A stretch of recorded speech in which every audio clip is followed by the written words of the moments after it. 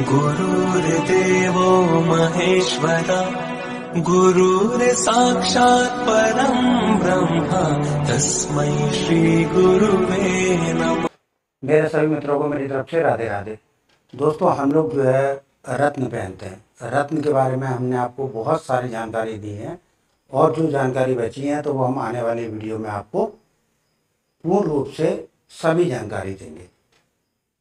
रत्न को ये बात अच्छी तरह समझ लें रत्न तभी हमको फल देते हैं जब रत्न को हम सही उंगली में धारण करें, सही दिन धारण करें, सही धातु में धारण करें, सही समय धारण करें और प्रत्येक रत्न की एक जप संख्या होती है और उसका एक मंत्र होता है। तो जितनी उसकी जप संख्या होगी और जो मंत्र होगा, उससे जब हम जप संख्या पूर्ण कर लेते हैं तो वो रत्न हमको बहुत लाभ देने लगता है।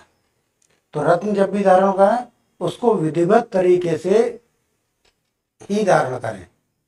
ऐसे आप किसी भी ज्योतिषाचार्य या किसी भी दुकान से जाकर रत्न लेकर नहीं पहने, उसका कोई भी मतलब नहीं होता। अगर इसका मतलब होता तो जो रत्नों का काम करते ना, उनके पास बहुत सारे रत्न होते हैं। तो निश्चित रूप से उनको लाभ देते या हानि, परंतु ऐसा नहीं होता है। आज हम आपको बुद्ध ग्रह का रत्न पन्ना किस समय धारण करना चाहिए, इसके बारे में संपूर्ण जानकारी दे रहे हैं। हम आपको ये जानकारी दें, उसके पहले हम आपसे प्रार्थना करेंगे कि आप इस वीडियो को लाइक कर दीजिए, चैनल को सब्सक्राइब कर लीजिए और बेल आइकन को दबा लीजिए। इससे आपको जो नोटिफिकेशन में हमारा जब भी वीडियो निकलेगा, आपके पास तुरंत पहुँच जाता है। कमेंट्स में राधे राधे ज़रूर लिखिए और वीडियो को अधिक से अधिक शेयर करेंगे तो इससे और भी लोगों का लाभ होगा। अब हम जल्दी से जान लें। तो सबसे पहले महीने में पंद्रह दिन शुक्ल पक्ष के होते हैं और पंद्रह दिन किस पक्ष के होते हैं, जिसे उजाला पाक और अंधेरा पाक भी कहते हैं।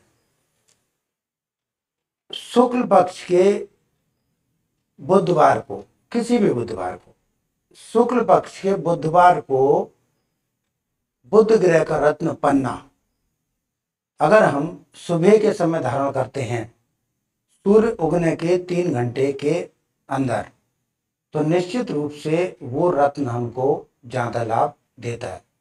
जब भी हम बुद्ध ग्रह का रत्न पन्ना धारण करें, धारण करने से पहले अगर हो सके तो घर के आसपास कोई गणेश मंदिर हो तो गणेश जी को धूपघास दूरवांकुर, जो कि बुधवार को नहीं तोड़नी है, ध्यान रखना है। आपने मंगलवार को पहले से ली हो।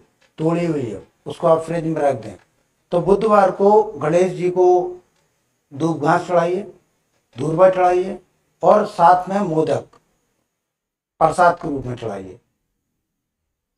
इससे आपका जो रत्न है, जो अंगूठी के रूप में है, साथ में उसको आप गणेश जी को अर्पित करके सबसे छोटी वाली उंगली में, जिसको हम कनिष्का भी कहते हैं।